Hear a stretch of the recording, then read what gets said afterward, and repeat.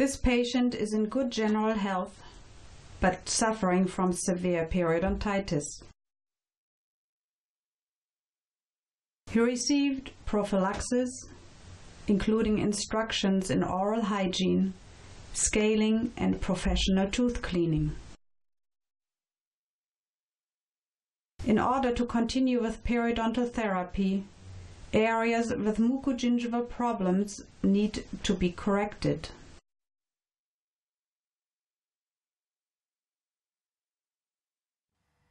In this patient, an adequate band of keratinized tissue is necessary in the lower front, as you can see from the measurements with a periodontal probe, especially on the lower right incisors.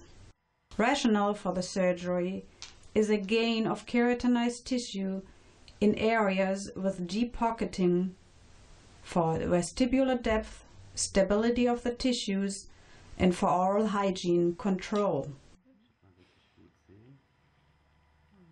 Any mobility of the mucosa is going to compromise a successful periodontal healing process. In this case, no preoperative medication was needed.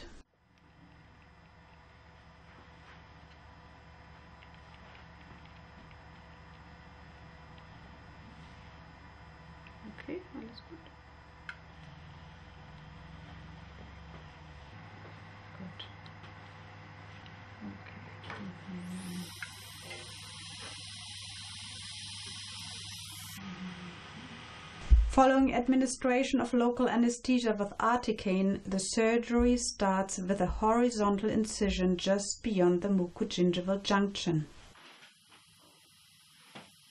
It is important that a minimal band of keratinized tissue is present in the treated site or in the surrounding tissues.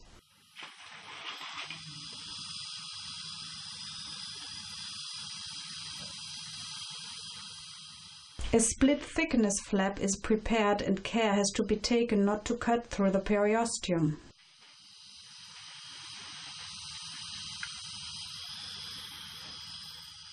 We proceed downwards until it is possible to move the flap passively in an apical position.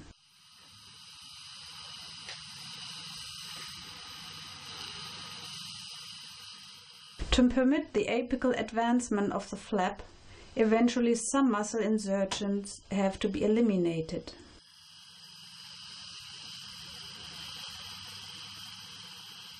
The blunt dissection is extended laterally to such an extent that the flap stays tension-free when positioned apically to the level of the desired width of keratinized gingiva.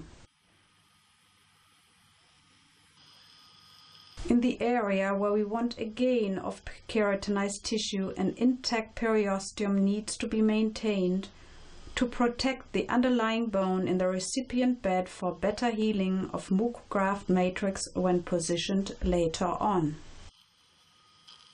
After final preparation of the flap, measurements of the recipient bed are taken with a periodontal probe.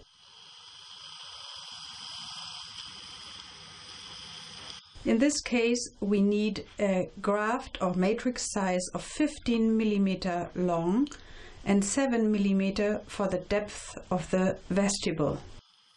Precise trimming of mucograft is important to avoid tension when suturing the device.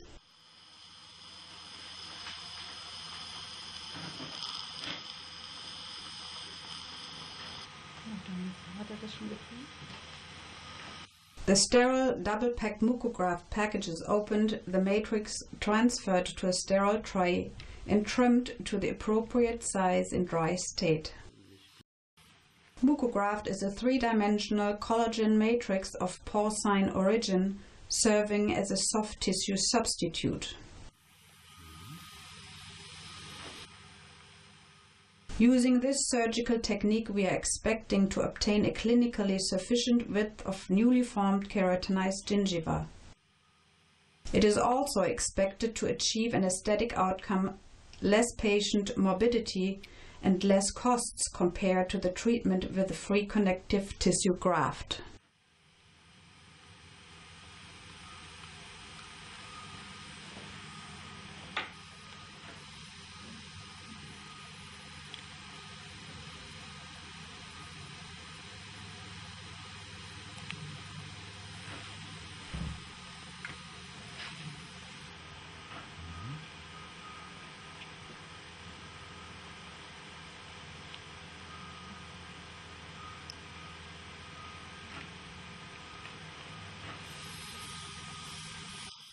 Mucograft is placed on the prepared periosteal bed with a smooth surface facing the oral cavity and the porous surface facing bone and periosteum. The matrix is fixed to the small coronal band of keratinized tissue and to the periosteum and, if necessary, to the surrounding soft tissues with non-resorbable, non-irritating 6-0 interrupted sutures. Complete penetration of the matrix by blood and exudates allows perfect adhesion of the device.